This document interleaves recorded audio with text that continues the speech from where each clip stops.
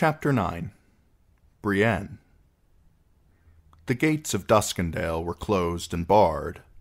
Through the pre dawn gloom, the town walls shimmered palely. On their ramparts, wisps of fog moved like ghostly sentinels. A dozen wains and ox carts had drawn up outside the gates, waiting for the sun to rise. Brienne took her place behind some turnips.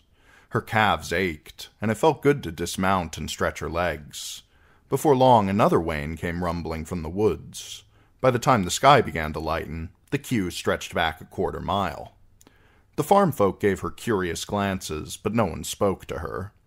It is for me to talk to them, Brienne told herself. But she had always found it hard to speak with strangers. Even as a girl, she had been shy. Long years of scorn had only made her shyer. I must ask after Sansa. How else will I find her? She cleared her throat. Good wife, she said to the woman on the turnip cart. Perhaps you saw my sister on the road, a young maid, tree and tan and fair of face, with blue eyes and auburn hair. Uh, she may be riding with a drunken knight. The woman shook her head, but her husband said, Then she's no maid, I'll wager. Does the poor girl have a name? Brienne's head was empty. I should have made up some name for her. Any name would do, but none came to her. No name? Well, the roads are full of nameless girls. The lich yard's even fuller, said his wife. As dawn broke, guardsmen appeared on the parapets.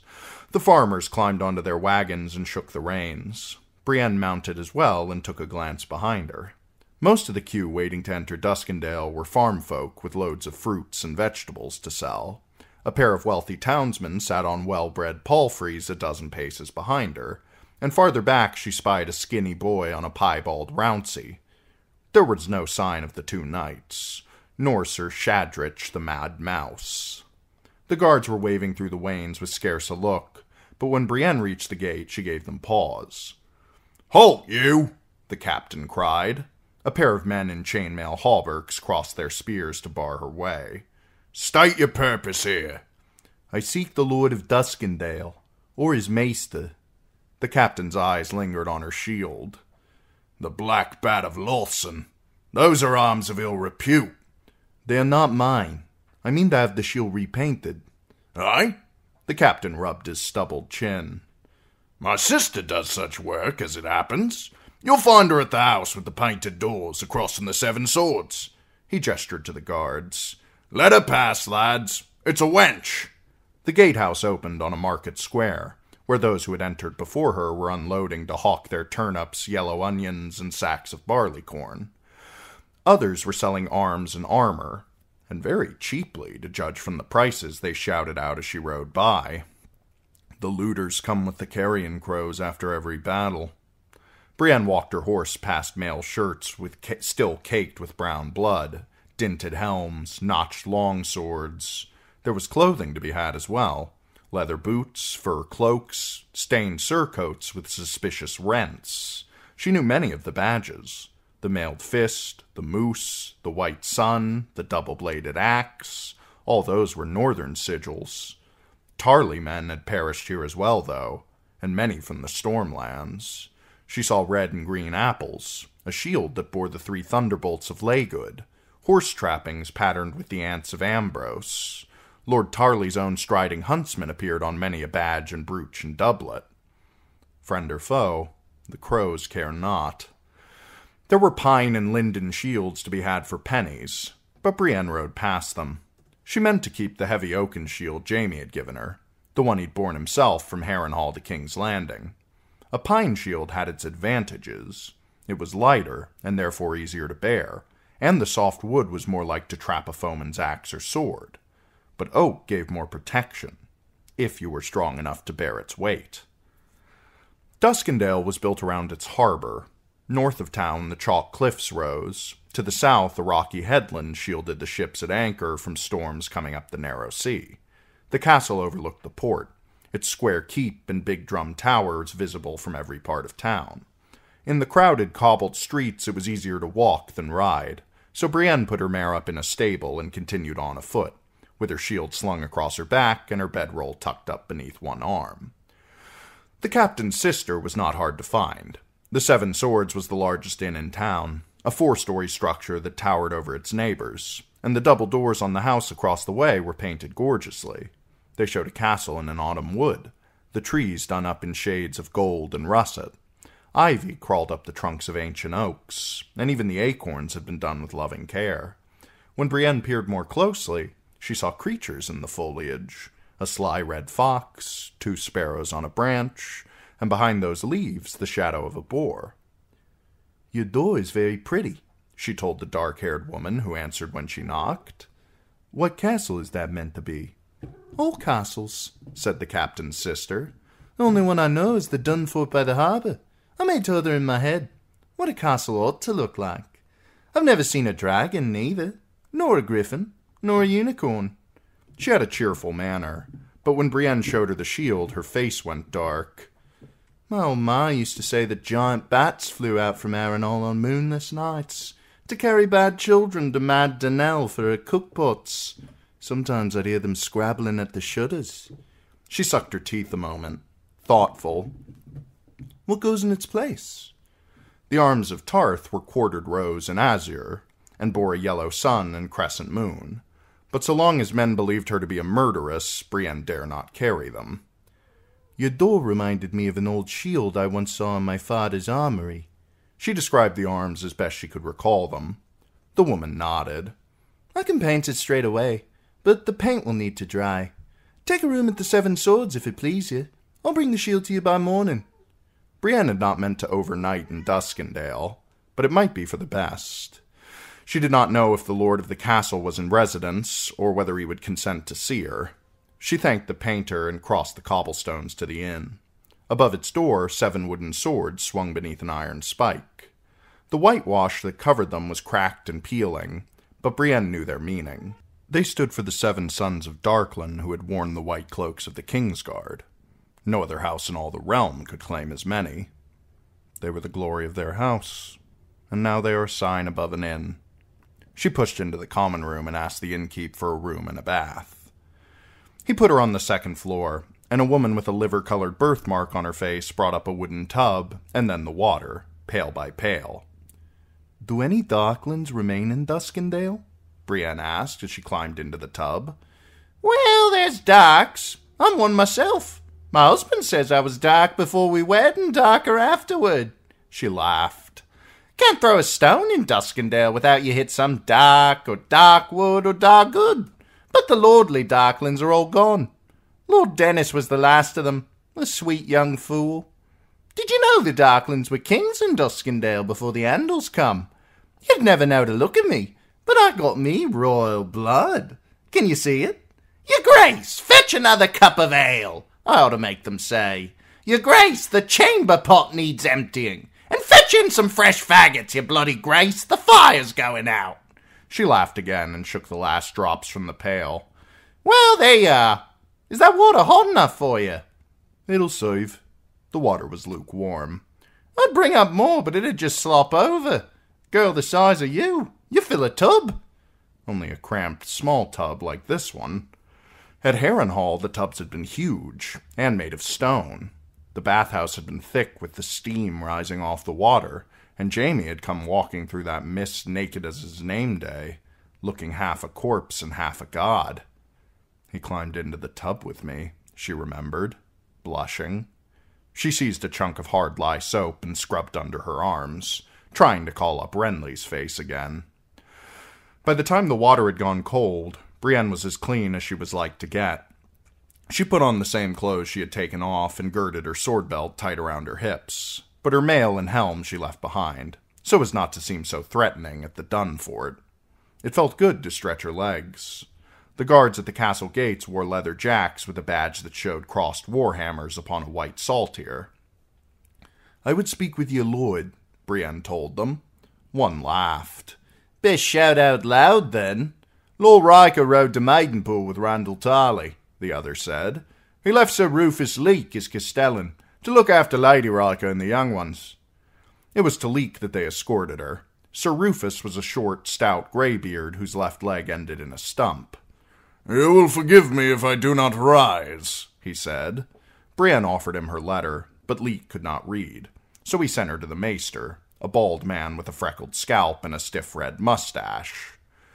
When he heard the name Hollard, the maester frowned with irritation. How often must I sing this song? Her face must have given her away. Did you think you were the first to come seeking after Dontos? More like the twenty-first. The gold cloaks are here within days of the king's murder, with Lord Tywin's warrant. And what do you have, pray? Brienne showed him the letter, with Tommen's seal and childish signature. The maester hmmed and hmmed, picked at the wax, and finally gave it back. It seems in order. He climbed onto a stool and gestured Brienne to another. I never knew Sir Dontos. He was a boy when he left Duskendale. The Hollards were a noble house once, tis true. You know their arms? Barry red and pink, with three golden crowns upon a blue chief. The Darklyns were petty kings during the Age of Heroes, and three took Hollard wives. Later, their little realm was swallowed up by larger kingdoms, yet the Darklyns endured and the Hollards served them. Ay, even in defiance. You know of that? A little. Her own maester used to say that it was the defiance of Duskendale that had driven King Aerys mad. In Duskendale they love Lord Denys still, despite the woe he brought them. 'Tis Lady Serala that they blame, his Myrish wife. The Lace Serpent, she is called. If Lord Darklyn had only wed a Staunton or a Stokeworth. Well, you know how small folk will go on. The Lace Serpent filled her husband's ear with Myrish poison, they say, until Lord Denys rose against his king and took him captive. In the taking, his master at arms, Sir Simon Hollard, cut down Sir Gwayne Gaunt of the King's Guard.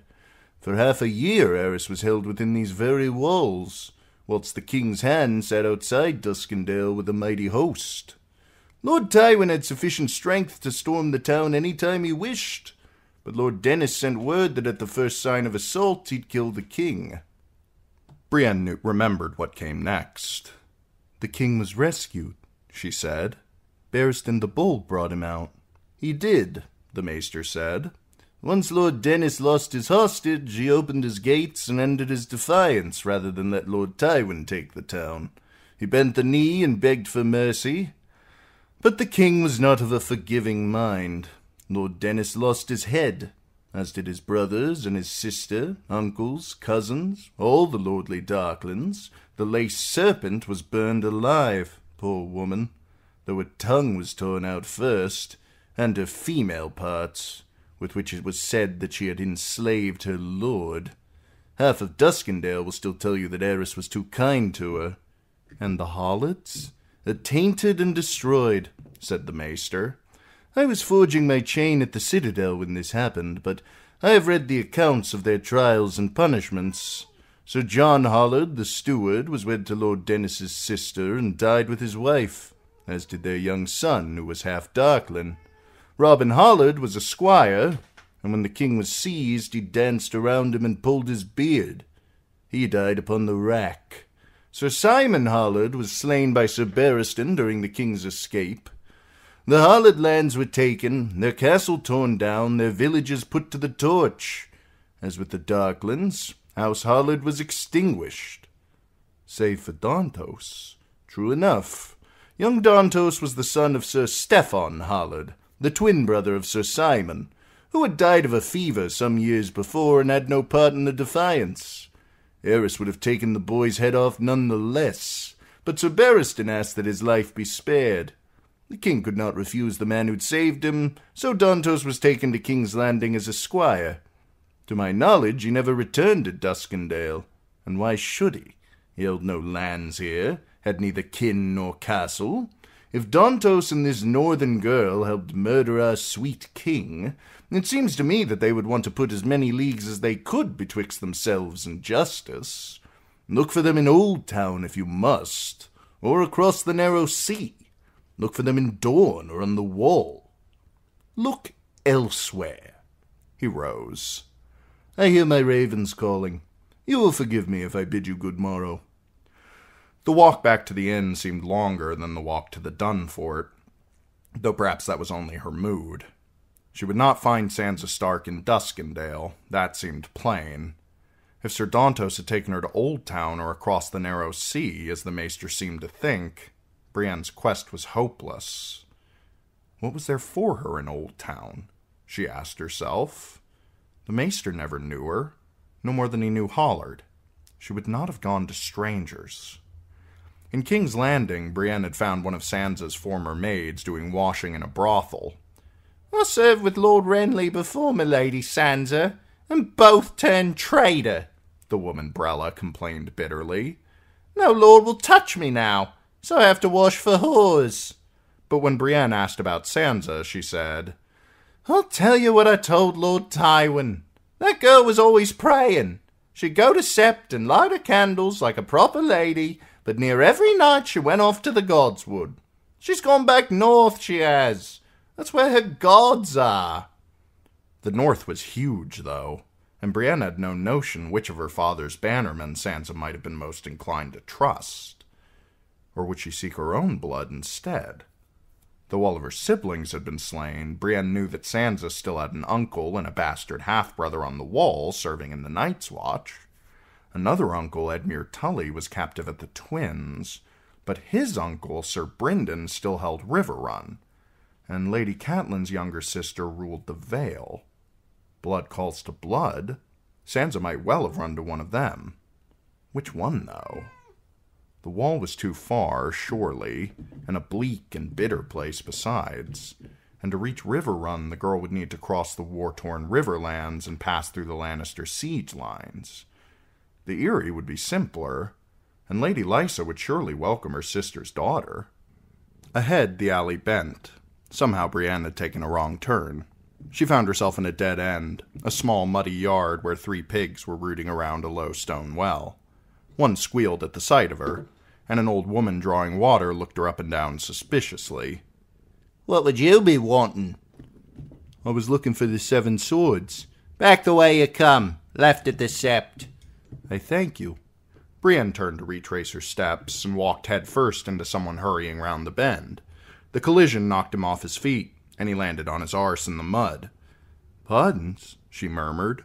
He was only a boy, a scrawny lad with straight, thin hair and a sty beneath one eye. Are you hurt? She offered a hand to help him up, but the boy squirmed back away from her on heels and elbows. He could not have been more than ten or twelve, though he wore a chainmail byrnie and had a long sword in a leather sheath slung across his back. Do I know you? Brienne asked. His face seemed vaguely familiar, though she could not think from where. No, you don't. You never. He scrambled to his feet. Forgive me, uh, my lady. I wasn't looking. I mean, I was, but down. I was looking down at my feet. The boy took to his heels, plunging headlong back the way he'd come. Something about him roused all of Brienne's suspicions, but she was not about to chase him through the streets of Duskendale. Outside the gates this morning. That was where I saw him, she realized. He was riding a piebald Rouncey, and it seemed as if she'd seen him somewhere else as well.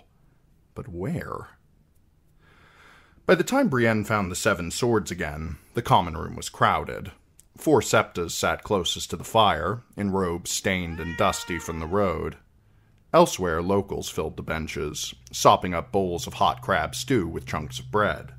The smell made her stomach rumble, but she saw no empty seats.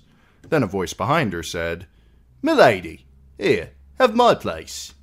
Not until he hopped off the bench did Brienne realize that the speaker was a dwarf. The little man was not quite five feet tall. His nose was veined and bulbous, his teeth red from sour leaf, and he was dressed in the brown rough spun robes of a holy brother, with the iron hammer of the smith dangling down about his thick neck. Keep your seat, she said. I can stand as well as you. Aye, but my head is not so apt to knock upon the ceiling. The dwarf's speech was coarse but courteous. Brienne could see the crown of his scalp where he had shaved it. Many holy brothers wore such tonsures. Septa Roelle once told her that it was meant to show that they had nothing to hide from the father. Can't the father see through hair? Brienne had asked. A stupid thing to say. She had been a slow child. Septa Roelle often told her so. She felt near as stupid now. So she took the little man's place at the end of the bench, signaled for stew, and turned to thank the dwarf. Do you serve some holy house in Duskendale, brother? 'Twas near Maidenpool, milady, but the wolves burned us out, the man replied, gnawing on a heel of bread. We rebuilt as best we could, until some sellswords come. I could not say whose men they were, but they took our pigs and killed the brothers. I squeezed inside a hollow log and hid, but the others were too big. Took me a long time to bury them all, but the smith, he gave me strength. When that was done, I dug up a few coins the elder brother had hidden by and set off by myself. I met some other brothers going to King's Landing. Aye, there's hundreds on the roads. Not only brothers, septons too, and small folk. Sparrows all. Might be I'm a sparrow too. The smith, he made me small enough. He chuckled. And what's your sad tale, milady? I'm looking for my sister. She's high born, only three and ten, a pretty maid with blue eyes and auburn hair.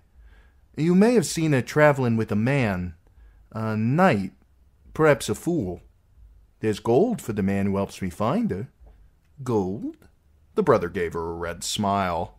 A bowl of that crab stew would be enough reward for me. But I fear I cannot help you. Fools I've met, and plenty, but not so many pretty maids. He cocked his head and thought a moment. There was a fool at Maidenpool, now that I think of it.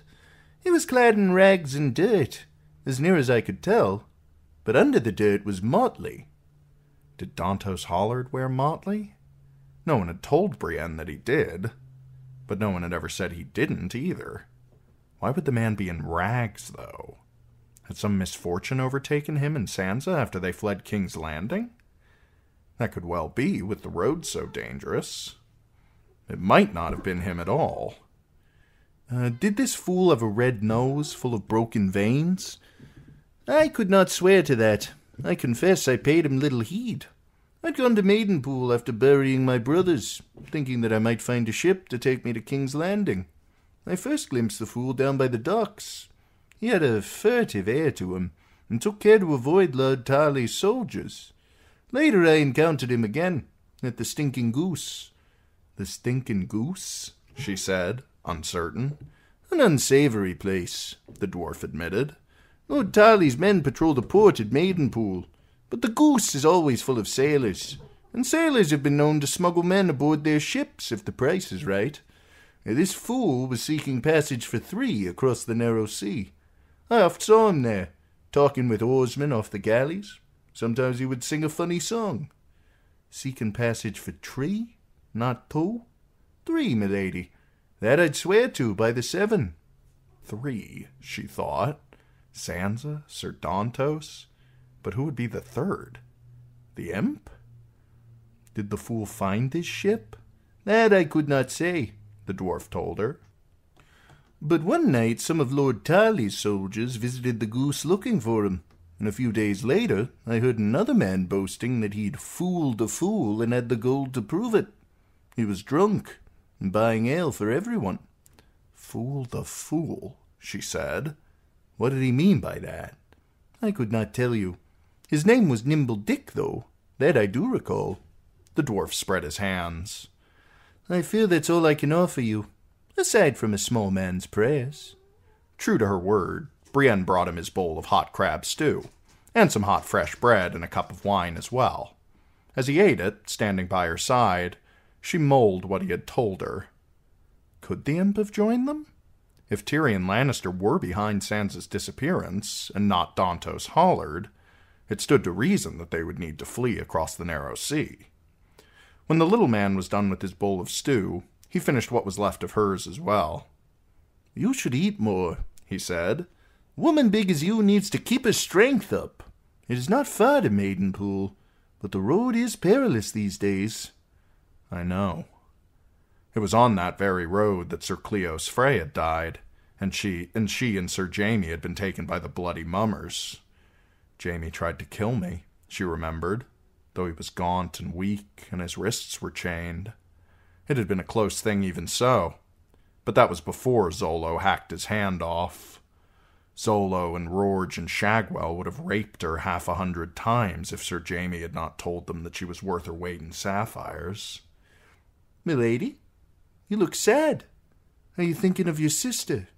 The dwarf patted her on the hand. The crone will light your way to her, never fear. The maiden will keep her safe. I pray that you are right. I am. He bowed. But now I must be on my way. I've got a long way yet to go to reach King's Landing. Do you have a horse? A mule? Two mules, the little man laughed. There they are, at the bottom of my legs. They get me where I want to go. He bowed and waddled to the door, swaying with each step. She remained at the table after he had gone, lingering over a cup of watered wine. Brienne did not oft drink wine, but once in a great while she found it helped to settle her belly. And where do I want to go? she asked herself. To Maidenpool? To look for a man named Nimble Dick in a place called the Stinking Goose? When last she had seen Maidenpool, the town had been a desolation, its lord shut up inside his castle, its small folk dead or fled or hiding. She remembered burned houses and empty streets, smashed and broken gates. Feral dogs had skulked along behind their horses, whilst swollen corpses floated like huge pale water lilies atop the spring fed pool that gave the town its name. Jaime sang Six Maids in a Pool and laughed when I begged him to be quiet. And Randyll Tarly was at Maiden Pool as well. Another reason for her to avoid the town. She might do better to take ship for Gulltown or White Harbor. I could do both, though. Pay a call on the Stinking Goose and talk to this nimble Dick, then find a ship at Maidenpool to take me farther north. The common room had begun to empty. Brienne tore a chunk of bread in half, listening to the talk at the other tables. Most of it concerned the death of Lord Tywin Lannister. Murdered by his own son, they say, a local man was saying, a cobbler by the look of him. That vile little dwarf. And the king is just a boy, said the oldest of the four septas. Who is to rule us till he comes of age? Lord Tywin's brother, said a guardsman. Or that Lord Tyrell might be. Or the Kingslayer. Not him, declared the innkeep. Not that oath breaker. He spat into the fire. Brienne let the bread fall from her hands and wiped the crumbs off on her breeches. She'd heard enough. That night she dreamed herself in Renly's tent again. All the candles were guttering out and the cold was thick around her. Something was moving through green darkness. Something foul and horrible was hurtling toward her king.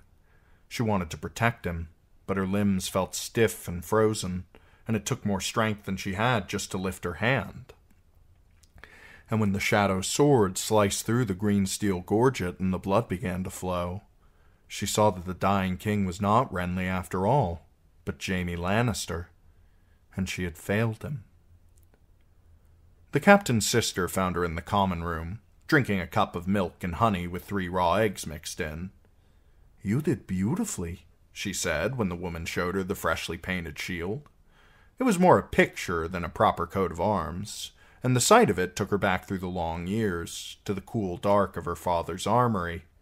She remembered how she'd run her fingertips across the cracked and fading paint, over the green leaves of the tree, and along the path of the falling star.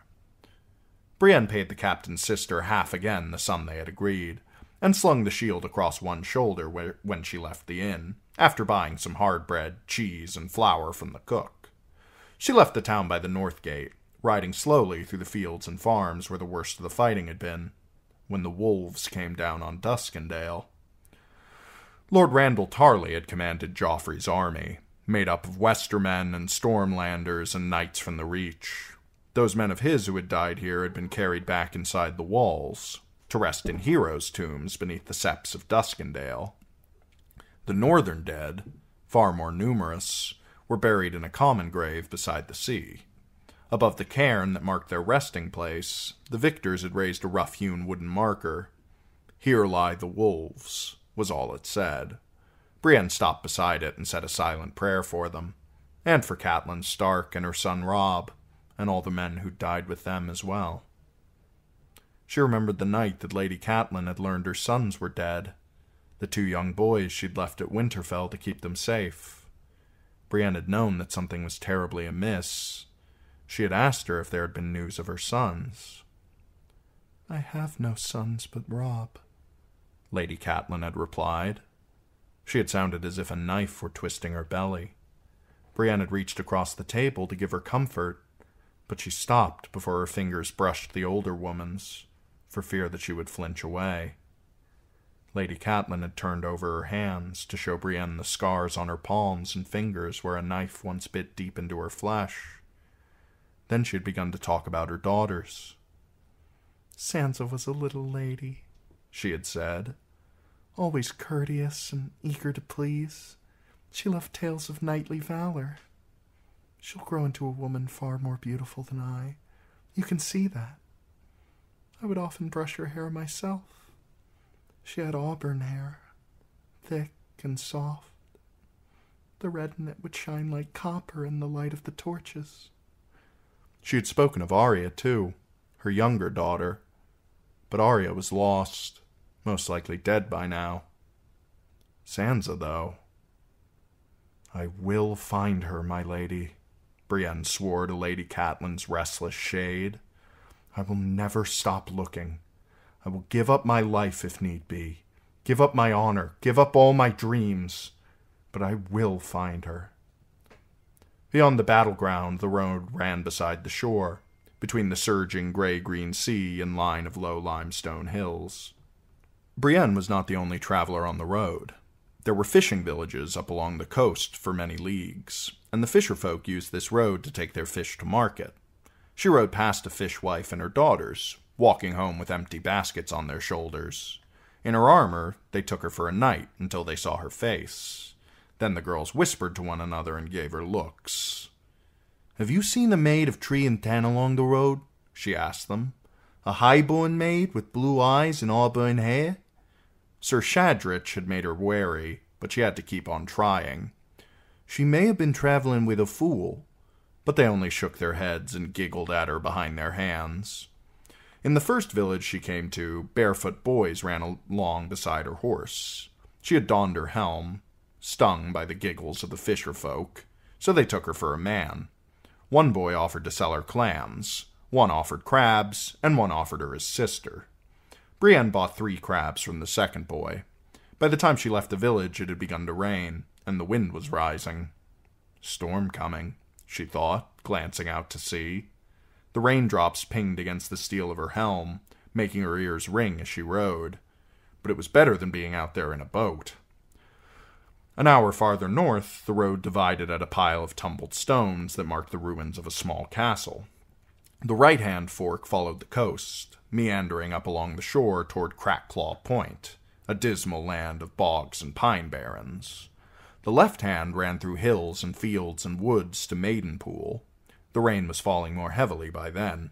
Brienne dismounted and led her mare off the road to take shelter amongst the ruins. The course of the castle walls could still be discerned amongst the brambles, weeds, and wild elms, but the stones that had made them up were strewn like a child's blocks between the roads. Part of the main keep still stood, however.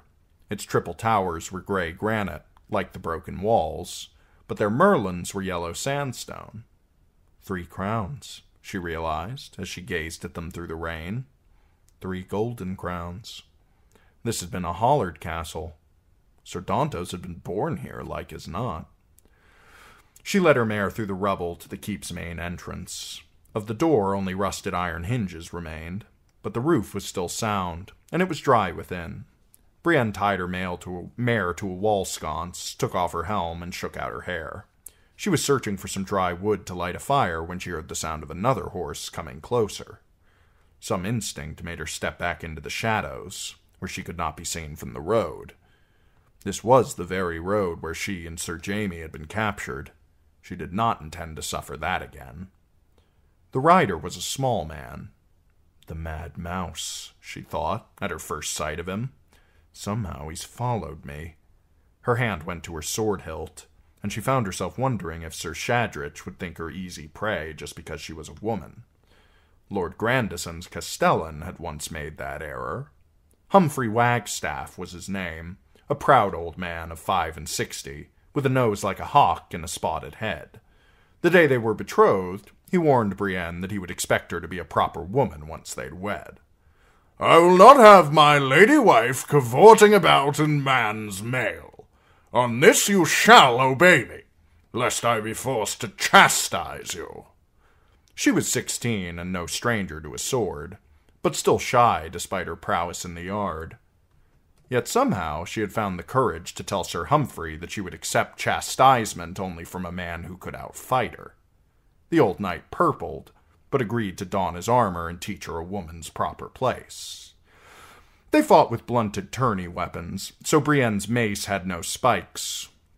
She broke Sir Humphrey's collarbone, two ribs, and their betrothal. He was her third prospective husband, and her last. Her father did not insist again. If it was Sir Shadrich dodging her, dogging her heels, she might well have a fight on her hands. She did not intend to partner with the man or let him follow her to Sansa. He had the sort of easy arrogance that comes with skill at arms, she thought. But he was small. I'll have the reach on him, and I should be stronger, too. Brienne was as strong as most knights, and her old master at arms used to say that she was quicker than any woman her size had any right to be. The gods had given her stamina, too, which Sir Goodwin deemed a noble gift. Fighting with sword and shield was a wearisome business, and victory oft went to the man with most endurance. Sir Goodwin had taught her to fight cautiously, to conserve her strength while letting her foes spend theirs in furious attacks. Men will always underestimate you, he said, and their pride will make them want to vanquish you quickly, lest it be said that a woman tried them sorely. She had learned the truth of that once she went into the world. Even Jaime Lannister had come at her that way, in the woods by Maidenpool. If the gods were good, the Mad Mouse would make the same mistake. He may be a seasoned knight, she thought, but he is no Jaime Lannister. She slid her sword out of its scabbard. But it was not Sir Shadrich's chestnut courser that drew up where the road forked, but a broken down old piebald Rouncey with a skinny boy upon his back. When Brienne saw the horse, she drew back in confusion. Only some boy, she thought, until she glimpsed the face beneath his hood. The boy in Duskendale. The one who bumped into me. It's him. The boy never gave the ruined castle a glance, but looked down one road, then the other.